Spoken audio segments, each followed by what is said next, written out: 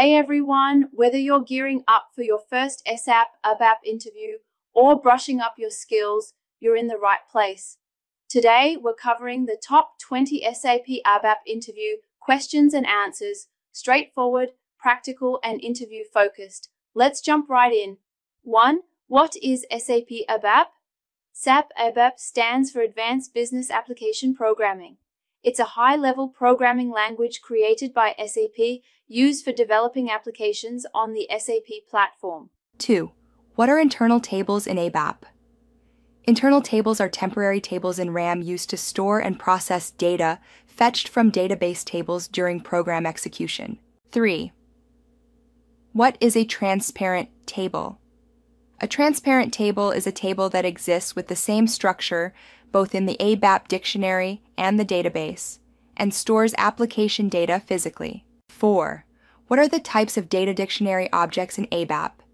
Tables, views, domains, data elements, search helps, lock objects, and type groups. 5.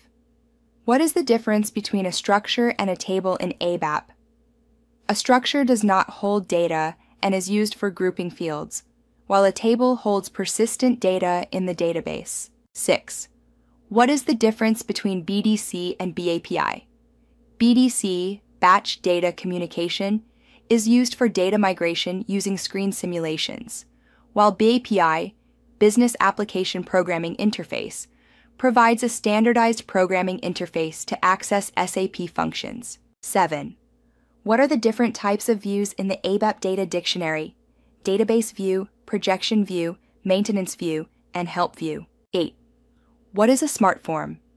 SmartForm is a tool provided by SAP to design and print formatted forms like invoices, purchase orders, etc., replacing the older SAP script technology. 9. What is the difference between a primary key and a foreign key?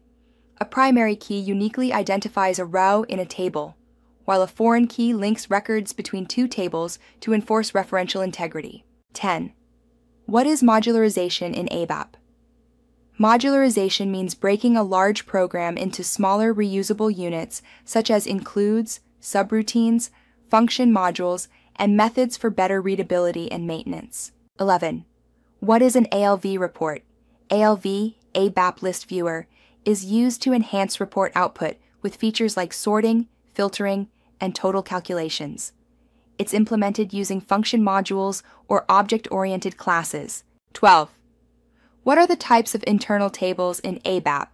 Standard table, sorted table, and hash table. 13. What is the difference between SYTABIX and SYINDEX? SYTABIX is used with internal tables in loops, while SYINDEX refers to the index of a DO or while loop. 14. What is a lock object in SAP ABAP? Lock objects are used to control access to SAP data by preventing simultaneous access by multiple programs, ensuring data consistency. 15. What is the difference between a function module and a method? A function module is a global subroutine callable from anywhere, whereas a method belongs to a class and supports object oriented programming. 16.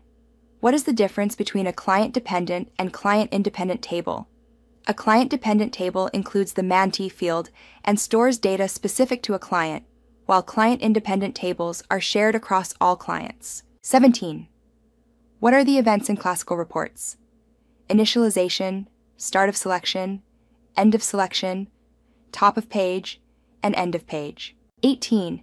How do you debug an ABAP program? You can debug using breakpoints, watchpoints, and the ABAP debugger via SE38 or SE80. You can also use H to start debugging during runtime. 20. What is the use of select into table statement? It is used to fetch data from a database directly into an internal table in a single operation, improving performance and code clarity. And that's a wrap. These are some of the most commonly asked SAP ABAP interview questions that can really help you stand out. If you found this helpful, give it a thumbs up, drop your favorite question in the comments, and don't forget to subscribe for more interview prep content. Good luck with your interview.